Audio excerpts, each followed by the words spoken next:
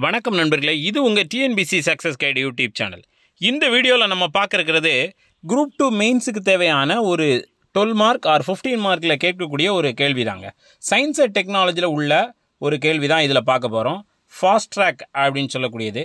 இந்த fast track எதுக்கு பயன்படப்படுகிறது எதுக்கு பயன்படுத்தப்படுகிறது அப்படின்னு பார்த்தோம் அப்படின்னா வாகனங்களுடைய சுங்கச்சாவடி கட்டணம் செலுத்தும் முறையை நவீனப்படுத்துகிற விஷயத்தில் தான் பயன்படுத்தப்படுகிறது.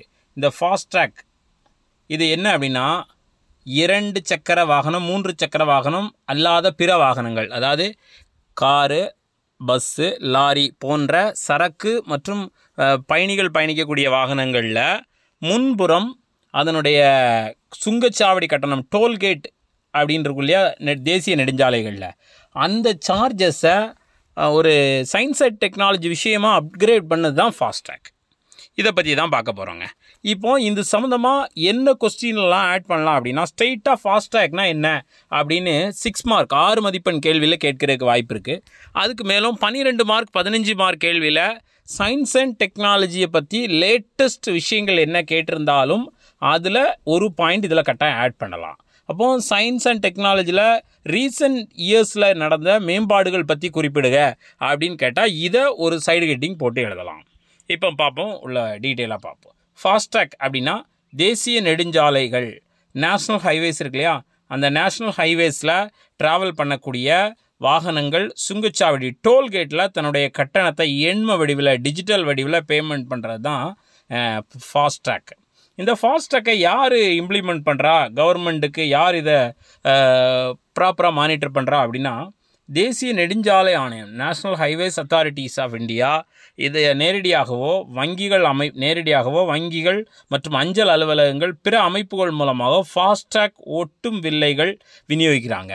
அதாவது அந்த ஃப்ரண்டில் ஒட்டக்கூடிய அந்த பார்கோடு பொருத்தப்பட்ட அந்த சிப்பை யார் விநியோகிக்கிறான்னா வங்கிகள் பிற தனியார் தனியார் நிறுவனங்கள் இதை விநியோகிக்கிறாங்க.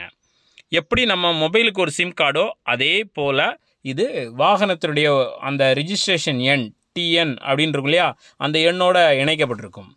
வாகன உரிமையாளரின் வங்கி கணக்குடன் இது இணைக்கப்பட்டிருக்கும். ஏன் அப்படின்னா அதன் மூலமாக ரீசார்ஜ் பண்ணுறதுக்கா ஃபாஸ்டேக் ஒட்டும் வில்லை. என்ன தொழில்நுட்பம் அப்படின்னா ஆர்எஃப்ஐடி தொழில்நுட்பம். ரேடியோ ஃப்ரீக்குவென்சி ஐடென்டிட்டி டெவலப்மெண்ட் இதை வச்சு தான் அதை வச்சு தான் இது வந்து ஐடென்டிஃபை பண்ணுது. அந்த பார்கோட் ரீட் ஆகுது. ஆர்எஃப்ஐடி தொழில்நுட்பம்.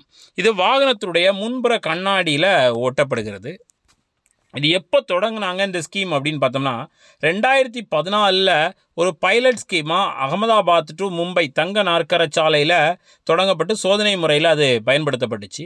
அதனுடைய வெற்றியினுடைய பயணமாக படி படியாக உயர்த்தப்பட்டு இறுதியாக ரெண்டாயிரத்தி பத்தொம்போது டிசம்பர் பதினஞ்சு ரெண்டாயிரத்தி பத்தொம்போது டிசம்பர் பதினஞ்சிலிருந்து இந்தியா ஃபுல்லாக கம்பல்ஷன் கட்டாயமாக்கப்பட்டது. எல்லா வாகனங்களும் இதை கட்டாயம் பயன்படுத்தணும். அப்படி பயன்படுத்தாத பட்சத்தில் அந்த சுங்கச்சாவடியை கடக்கும்போது இரண்டு மடங்கு கட்டணம் செலுத்தணும் அப்படின்னு ஒரு முறையை கொண்டு வந்தாங்க. இதனால் என்ன பயன் அப்படின்னு கொண்டு வந்தோன்னா ஃபாஸ்ட்டாக கொண்டு வர்றதுக்கு முன்னாடி ஒன் ஹவருக்கு ஒரு மணி நேரத்துக்கு ஒரு ஃபா ஒரு டோல்கேட்டில் ஒரு கேட் வழியாக நூற்றி பன்னிரெண்டு வாகனங்கள் மட்டுமே அதிகபட்சமாக கடந்தது. ஒரு மணி நேரத்துக்கு அறுபது நிமிடத்துக்கு நூற்றி பன்னிரெண்டு வாகனங்கள் மட்டுமே அதிகபட்சமாக கடக்க முடிஞ்சுது. ஆனால் ஃபாஸ்டாக் வந்த பிறகு அதே ஒன் ஹவரில் ஒரு கேட் வழியாக இரநூற்றி அறுபது வாகனங்கள் வரை மினிமம் அதை கிராஸ் பண்ணுது. இரநூற்றி அறுபது வாகனங்கள். விரைவான பயணம். அந்த ஸ்பீடை கம்மி பண்ணுறது டோல்கேட்டாக இருக்கும். இப்போ அந்த விஷயங்கள் அந்த பிரேக் இல்லாமல் ட்ராவல் பண்ண முடியுது. அடுத்து வெளிப்படையான கட்டண வசூல். டைரெக்டாக நம்ம அக்கௌண்ட்லேருந்தே அது டெபிட் ஆகிறதுனால எந்த விதமான ஹிடன் சார்ஜஸும் அதில் இருக்கிறதுக்கு வாய்ப்பில்லை அடுத்து ஃபாஸ்டாக் குறித்து ஏதாவது நமக்கு பிரச்சனை இருக்குது அப்படின்னா ஒன் ஜீரோ த்ரீ த்ரீ ஆயிரத்தி முப்பத்தி மூணு அப்படிங்கக்கூடிய டோல் ஃப்ரீ எண்ணுக்கு நம்ம இம்மிடியேட்டாக புகார் பண்ணலாம். புகார் பண்ணால் உரிய நடவடிக்கை எடுப்பாங்க. மேலும் இதில் இன்னொரு விஷயம் என்ன அப்படின்னா உங்களுடைய வசிப்பிடம் டோல்கேட்லேருந்து பத்து கிலோமீட்டருக்குள்ளே இருந்துச்சுன்னா நீங்கள் டோல்கேட் பே பண்ண வேண்டாம். பத்து கிலோமீட்டருக்குள்ளே இருந்துச்சுன்னா. இப்போ இது எப்படி நம்ம ப்ரூஃப் பண்ணுறது அப்படின்னா பாயிண்ட் ஆஃப் சேல் அப்படின்னு ஒரு இடம் இருக்கு இல்லையா? அதாவது அந்த டோல்கேட்டில் போய் அங்கே உள்ள ஆஃபீஸில் உங்களுடைய nativity certificate plus registration certificate வாகனத்தினுடைய அந்த பதிவு இருக்கும் இல்லையா ஆர்சி புக்குன்னு சொல்லுவோம் அதையும் நேட்டிவிட்டி சர்டிஃபிகேட்டை சப்மிட் பண்ணி அதிலிருந்து விலக்கு பெற்றுக்கொள்ளலாம் அப்படின்னு தெரிவிக்கப்பட்டிருக்குங்க. அப்போது சயின்ஸ் அண்ட் டெக்னாலஜியில் ஒரு கொஸ்டின் அந்த கொஸ்டின் ஃபாஸ்டாக்னு சிக்ஸ் மார்க்கில் ஸ்ட்ரெயிட்டாக கேட்குறக்கு வாய்ப்பு இருக்குது அதே இது டுவெல் மார்க்கில் ஃபிஃப்டீன் மார்க்கில் சயின்ஸ் அண்ட் டெக்ல அறிவியல் மற்றும் தொழில்நுட்பத்தின் தற்கால வளர்ச்சி குறித்து குறிப்பு வரைக. சமீபத்திய மேம்பாடுகள் குறித்து எடுத்துக்காட்டுகள்னு விளக்குக. அப்படின்னு கொடுத்தாங்கன்னா இந்த பாயிண்ட்ஸ் கட்டாயமாக அந்த கொஸ்டினில் இருக்கணும். லேட் சயின்ஸ் அண்ட் டெக்னாலஜியில் ரொம்ப முக்கியமான டாபிக் ரொம்ப பயனுள்ள டாபிக் கூட.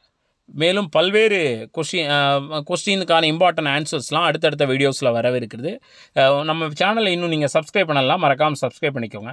நன்றி நண்பர்களே